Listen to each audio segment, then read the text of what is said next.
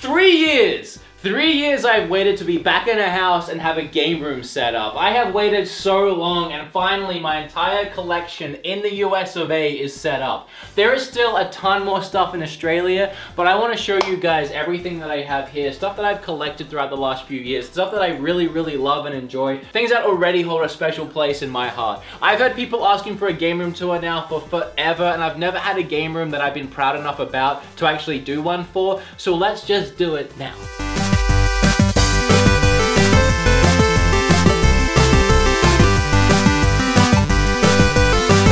So I'm gonna start just on this side really quick with the poster wall. So my lovely fiance who's holding the camera right now, we actually shared this room. It's like a game room, workroom, studio kind of situation, which is why it's so damn bright in here, like the sun. So over here you have like her little workstation because she makes a bunch of things like she made this Maniac Mansion pillow for me. Actually, we're selling some. Hey, here's some free promotion at the start of the video. If you guys want to buy a pillow, we still have a little Samson one left but we're going to be making a bunch more and you can get them commissioned. There'll be a link in the description below. So she makes these and this is her workstation and that's her computer. This is my little editing corner with all of my posters and everything that gets me inspired while I'm editing, like my Mama K picture, which Kim drew me. Woo!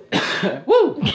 Alright, but I know that's not what you guys want to see. Now, in Australia, as I said, I have a collection I would say is probably about twice the size of this. So all if I have more than what could probably fit in this room? And that's not me bragging, it's me kind of being like, if you guys don't see something here and you're like, why does he only have three Super Nintendo games? The rest are back in Australia. And that kind of goes across the board. Like my Earthbound isn't here, which hurts me every single day. This is my Zelda shelf full purely of Zelda things. If I was to get my Zelda collection from Australia in here, I'd need three more shelves. So it's that kind of thing. So if you see Zelda games missing, that's where they are. These little Nendoroids figures, um, and then I have the Figma figure up here, and then I have some Amiibos, and then of course the new Breath of the Wild game, which I really love, the Zelda uh, uh, Twilight Princess pack with the Wolf Link in it, I have a little Japanese Legend of Zelda Minish cap for Game Boy Advance. A Zellies chess set behind there. I have a repro. I have some games lying around. I have a little candle, which a fan of the show gave to me at the last convention because everyone knows that I love my Zeldies. So that's a lot of my Zelda stuff hidden in there. I don't think there's anything too special I need to point out. Most of the stuff that I really, really love, again, is in Australia. A lot of really cool things.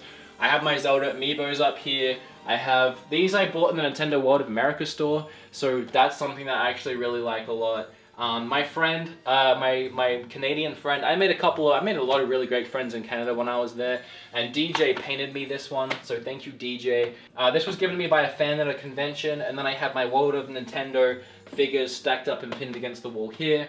This tree, again, my girlfriend, my fiance made me and I keep that up. I want to hang it up, but I haven't got a way to do it yet, and that's the tree from Legend of Zelda Ocarina of Time, obviously. I wanted to have my games on a shelf shelf. I didn't want to try and slam them into cubes, even though I really love these cubes. This is, again, what I had in Australia. I had cubes in Australia. I had white ones. I went for grey this time. I thought they'd look a little nicer. So these are all my PS4 games. I made sure they were alphabetical because AlphaOmegaSin was at my house recently and yelled at me for not having these alphabetical.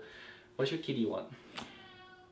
Brains. Do you want to check on him? Was he okay? He, he just wants to be included. My Xbox collection, which is quite small in comparison because I only like getting exclusives for that system. I prefer to get every game on PS4 that I like. I really like PlayStation 4. I love PlayStation 4. I've had a lot of fun with it. My PlayStation 4 is my original one from Australia. I lug it around everywhere with a big brick that I need to use to step it down to Australian power supply but I do it because it's special to me. My Wii U collection, which again is made up of some titles I got in Australia before I moved, and then the new ones that I got in America, which are the white ones. My Switch collection in here. All the things I really like about my Wii U collection was this was around about the time when Nintendo started sending me stuff to review, and a lot of them mean a lot to me. Like they sent me Paper Mario Color Splash, they sent me Minecraft, um, I'm trying to think what else they sent me, but that's when they started sending me some games, so it means a lot to me. Also, the 3DS, they've sent me a ton of 3DS games now. Pokemon Moon, they sent me Pokemon Sun, Hey Pikmin, uh, Mario and Luigi, uh, Yokai Watch is in there somewhere, Monster Hunter Stories. So a lot of that means a lot to me and that's some stuff that I would never get rid of or never trade because I grew up with Nintendo. I love Nintendo, as is up here on this sign. Nintendo has always meant something to me. When I was born, there was an NES in the house and that's why I love games. And if you had told me back then that one day Nintendo themselves would be sending me games to talk about on my channel that has almost 100,000 subscribers now, I wouldn't even be able to fathom any of that. So keeping those are very important to me. It's something I'm never going to get rid of. The Wii is something I don't collect for anymore. Half of this is still Australian. Again, I have all the games that I want for it. So I'm not too fast on picking up titles at this point. And same with DS. I've never really got into the DS too much. I love the games that I have, but I'm not really too fast on picking up any of the other ones, apart from the Pokemon games that I'm missing. This was something I got here in Texas, actually, with uh, Ali. We both went and got these for, I think it was like 35 or maybe even less at that point. The PS Vita TVs. They were so hard, they're still really getting expensive and hard to find, and we got them on sale really cheap. Came with a controller, so that was a really good deal. So in the main feature display thing. So I wanted my, my games on one side, I wanted my Zeldies on this side, and I wanted my Back to the Future up here. So I have my hoverboard front and center, which is a was a gift from Arthur at Retropalooza a couple of Retropaloozas ago. I can't tell, I almost cried. I, I can't even begin. It's It was in box two. I have a miniature uh, Back to the Future hoverboard up here, which a fan of the show gave me, a link to, sent to me a long, long time ago. Back to the Future Pop, I still need Marty. Back to the Future on NES, Back to the Future on PS4. All the VHSs sealed, as well as uh, Secrets of Back to the Future sealed on VHS. That was from a fan recently. Back to the Future, the cartoon, was also a gift from a fan. I recently bought for myself the Marty, the Marty, I almost said Marty Jannetty and then I couldn't even say it for the life of me. This is really cool. This also came from Arthur. It's the photo from Back to the Future 3. And then I have Back to the Future up here on uh, Blu-ray and DVD. I, when it comes to movies, Back to the Future is my favorite movie. And then when it comes to video games, Zelda is my favorite video game. I almost forgot to mention that this sword, which I got recently in a video that you guys probably watched, I want to actually give a verbal thank you because I found out who it was and it was Stupid Patrick gave me this. Here's actually, I didn't have much Super Nintendo stuff when I left Australia, so this is a lot of my, this is most of my Super Nintendo collection, bar a few games like Earthbound, which I left in Australia, which doesn't make sense because it didn't even come out in Australia, it came out here. Mega Man X, Castlevania 4, Final Fantasy 3, some of my favorites. I have Gradius, another one of my favorites. There's a bunch of really great games in here. Super Star Wars games, Super Mario World, stuff like that. And then the NES stuff, uh, River City Ransom was a gift from Aaron from Metro Liberty, and huge thank you to Aaron still for that one. Metroid, which I actually dropped while I was packing, or unpacking, and now it rattles. I'm upset about that, but it's the variant label. There's Mega Man 2. There's a bunch of other games in here that I really like. Mad Max, but for the most part, again, the ones that I wanted, I bought the first trip to America, and they're already in boxes in Australia, so that's not really that impressive. Down here is my GameCube collection. I, again, I keep going on about it, but I probably have double this in Australia. I bought some of my favorite games to play here on my Panasonic Cube, which I had a freeloader disc for, and my plan was to just play some games on this but I can't play the Australian games here because the TV, the 50 hertz, 60 hertz difference makes all the Australian games in black and white. I can play them, but they're in black and white. Very frustrating. The Panasonic Q is by far my favorite thing in the entire collection, and I've talked about it before, but this gem, when I was younger, when I was like 14, I wanted this. I knew about it when I had a GameCube, and I just, for some reason, before I was even a collector, this was the one thing I wanted. When I became a collector, it was like, I remember that thing, let me get it, or I want to get it. I never thought I'd actually have it. This thing never leaves my side is what I'm saying. I love this thing, this is my baby. You could burn down half of this stuff and it wouldn't hurt me as much as if I lost this. I also have the controller for it, which is hiding behind there. Um, but that's all. I don't have the component cables or anything else. I wish I did one day. So yeah, GameCube collection, some random stuff I've picked up. Noticeably, recently I got up Ikaruga. I don't know if I'm pronouncing that right. Mega Man Anniversary, Mega Man X collection. Uh, I really love Pokemon XD Gale of Darkness. Bloody Roar is one of my favorite fighters, like ever. Lost Kingdoms 1 and 2. These right here are the only games in my entire collection, both here and Australia, that were actually my games from when I was a kid. I don't have anything from NES, anything from 64, unfortunately. My mom still has all of that.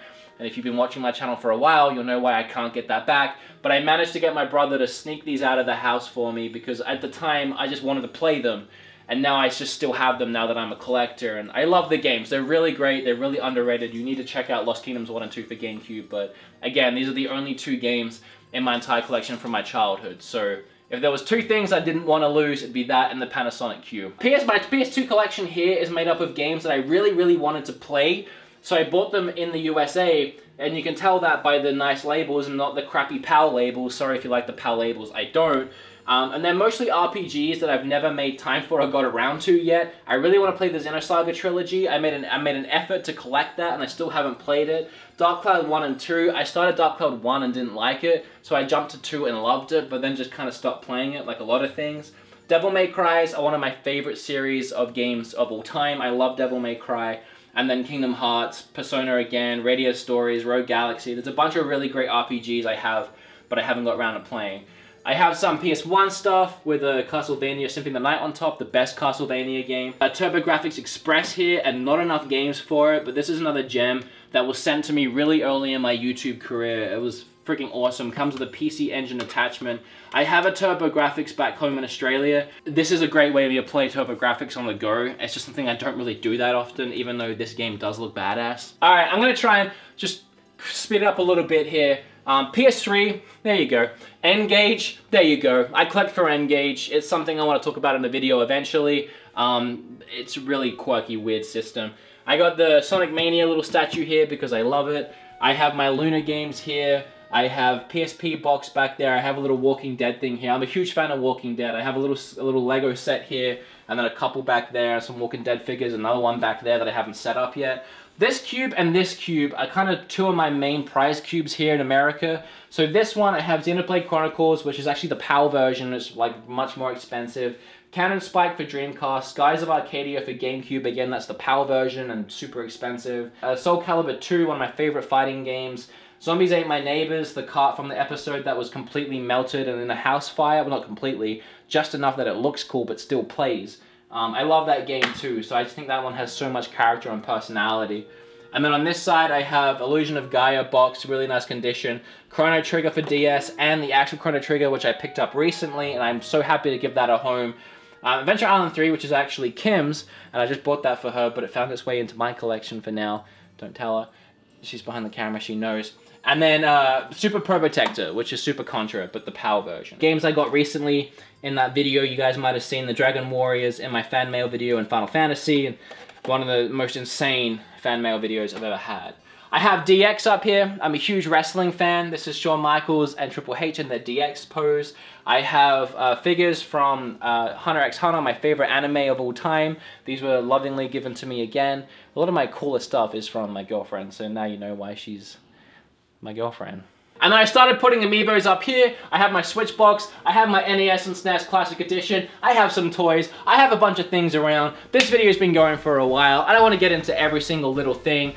Um, there's some more cool stuff lying around that I'll get shots of while I'm talking to splice them into the video.